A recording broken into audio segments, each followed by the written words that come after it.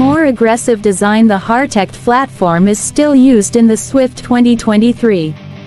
With the ability to create lightweight, high levels of stiffness, and excellent flexibility, Suzuki still sticks with this platform. As for the engine, the Suzuki Swift Sport 2023 is embedded with a 1.4L petrol engine equipped with a turbo. But this machine is also side by side with a motor and a 48V lithium-ion electric battery.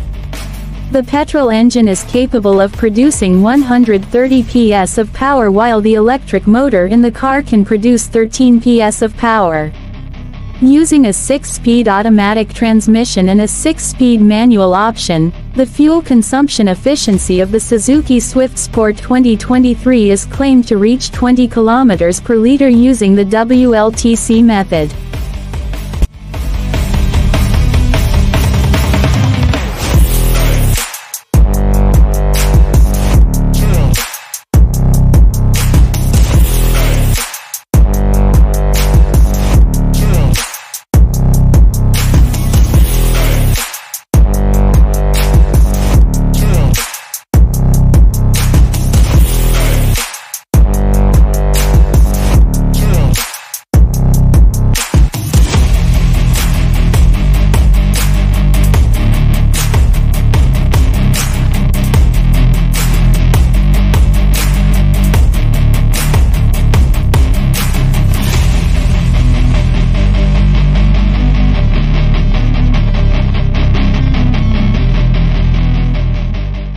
If the Swift Sport is an aggressive version, then Suzuki is also preparing a new generation of Swift that is more relaxed.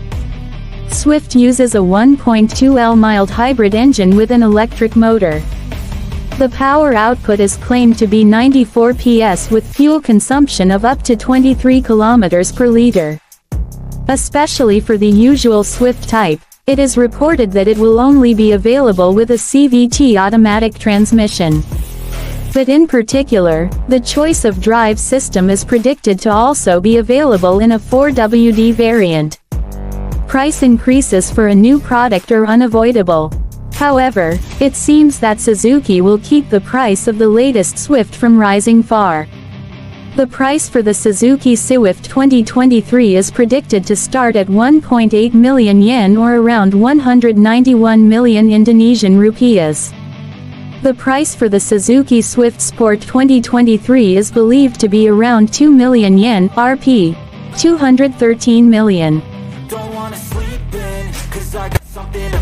I gotta take what I hate and finally make a move. I think of you and all the shit you don't do.